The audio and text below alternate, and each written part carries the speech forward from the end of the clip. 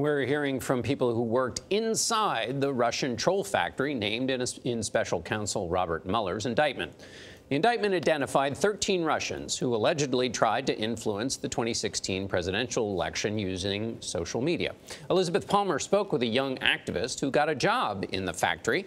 She is in St. Petersburg with how the activist hopes the trolls can be brought to justice. Elizabeth, good morning. Good morning.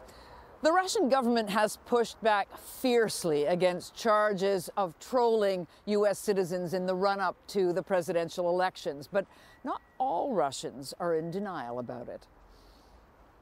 We spoke to Ludmila Savchuk, an activist who went underground in 2015 to get a job in the by now infamous troll factory.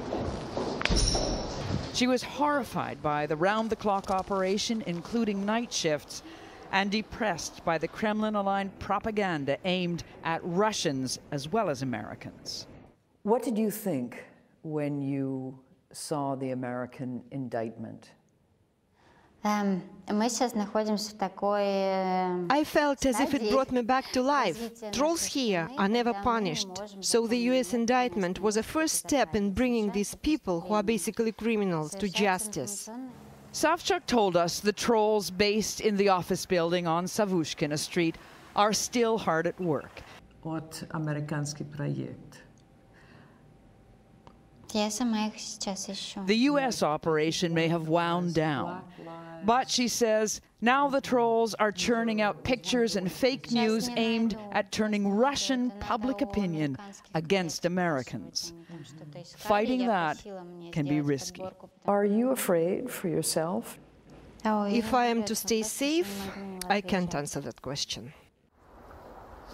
At the end of that interview, Ludmila had a question for us.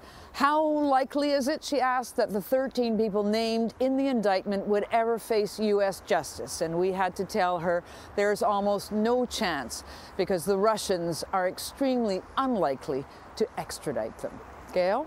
All right, Elizabeth Palmer in St. Petersburg. Thank you.